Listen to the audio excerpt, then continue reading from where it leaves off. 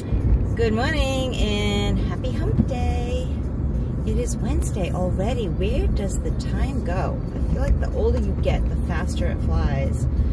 Um, I guess because it's relevant, right? Anyway, I wanted to get on here and talk about um, my continuing my continuing talk on motivation, procrastination, um, planning, something that I've gotten really, really good at. So I went back to school a few years ago and with working full time and, you know, going to meetings and taking care of my recovery and, and um, you know, taking care of myself and self-care in school and the homework and all that stuff that, that was bombarding me and overwhelming me. I had to learn to, to balance it all, right? To get it all to fit. And one of the best things that helped me, I'm a visual person, so writing it down and, and sorting it out, but, um, you know, planning, prioritizing, and waking up a little bit earlier. So, you know, I I remember years ago, I used to work the second shift. I was not a morning person. I wouldn't wake up before 9 o'clock. Um, on the weekends, it'd probably be even later, probably more like uh, my days off, I shouldn't say, because I think I worked a couple of the weekends. Um, but anyway, so it took me a little bit when I went to first shift to, to adjust to that, right? And um, and I had to. I was kind of like forced to. But when I um, decided I was going to do my online business and and um, you know my courses and develop my courses and and now my coaching. Had to find a way to fit it all in. And I found that, and this is just for me, but I found that um, I was better in the morning than I was at the end of the day. So um, it took me a little bit to wake up, but once I was up, my clarity, my, my energy level, it was there. By the end of the day, after, you know, work or school or what have you, I was pretty much spent. And like even the days I went to the gym, um, was even more so and more tired. So um, I had to figure out a way to fit it in because I working on my online business. It, it's a lot of mental energy. You know, I, I needed that. Um, and so I decided what I was going to do. I was going I was going to wake up earlier um, to get ready in the morning, and I did that gradually because I struggled with getting up in the morning earlier. So what I did was I, um, I got up 15 minutes earlier and I did that for a couple of weeks. Oh, where are all these cars coming from? Um, I did that for a couple of weeks and then I did even 15 minutes earlier than that and then 15 minutes earlier than that. Um, and it took me a little bit, but eventually I got to the point where I could wake up um, quarter of four, and that would give me enough time to, you know, I, I wake up at quarter four. At, at, for a while, I was waking up at four o'clock.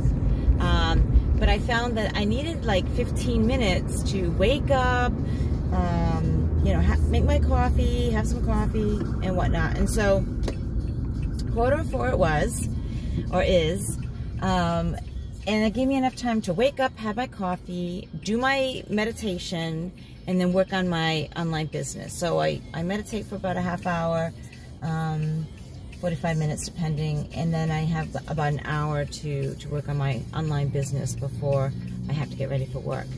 Um, and it seems to work. Um, what this relates to motivation is, you know, I don't always like to get up at quarter four. Actually, most days I don't like to get up at quarter four.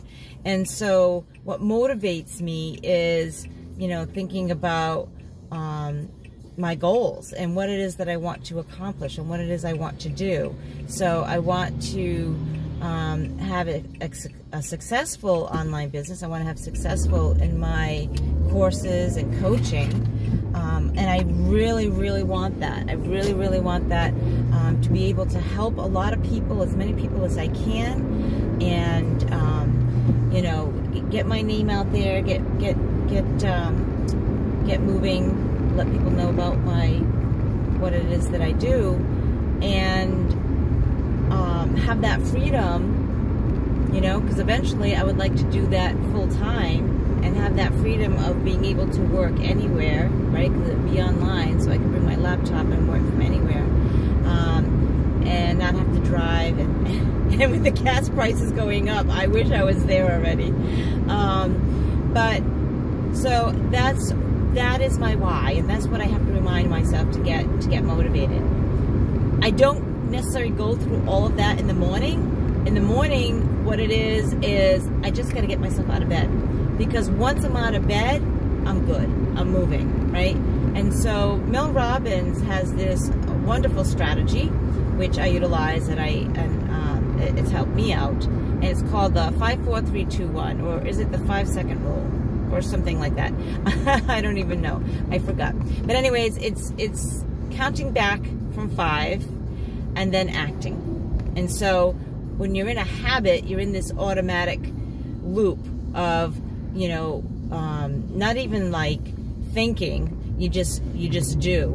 And in order to break that habit, if it's a bad habit, um, you know, you gotta you gotta act. You gotta move right? And I've talked about this before, like motivation happens after you take action, not before. You don't get motivated and then do something. You do something and then you get the motivation. And so five, four, three, two, one, feet on the floor. That's what I do. Five, four, three, two, one, feet on the floor, and then just do it. Just get up. Just move. Don't have this conversation. Don't have this argument. Don't have these excuses and I've gotten better at it. Believe me, I, I, I fall short. There's not, it doesn't happen as smoothly as I'm making it sound, right? There are times I struggle um, more than others, you know. Um, but when I find myself, and this whole mindful thing, mindfulness thing that I talk about in my other videos, um, is really helpful because I've become in tuned of my, in, with my thoughts. And so I become mindful when I'm starting to play those old tapes or um, you know, make those excuses or rationalize or, or, you know, procrastinate, right? Or I'll do that later, I'll do it after work. No, you won't. You're exhausted after work. You don't want to do that stuff after work. And so, and plus you have other things to do after work.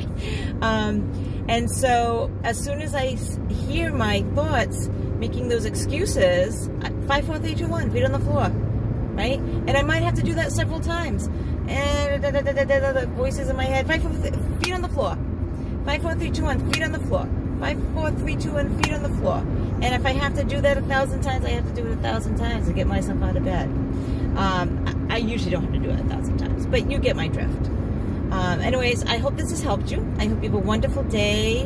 Um, if you like my videos, please hit the subscribe button. I've got a lot of great other videos out there on all kinds of topics relating to helping women in recovery live their best lives. Um, and so I know I didn't get sober to be miserable, and so I've learned some some skills um, that can help better my life. I better my life each and every day, and my purpose, my mission is is to help others too. So I hope this has helped you. Um, if you want, you can also follow me on Facebook and Instagram under Recovery Enthusiast or Doreen Cunha. That's C-U-N-H-A. Um, let's see, what else? Oh, my website, recoveryenthusiast.com. I got some freebies on there. And yeah, stay tuned. I'm gonna be I'm gonna be doing a five day challenge and I'm putting it together, so I'm not really sure exactly what that's gonna look like, but keep watching my videos, stay tuned for more information. Um, did I already tell you this?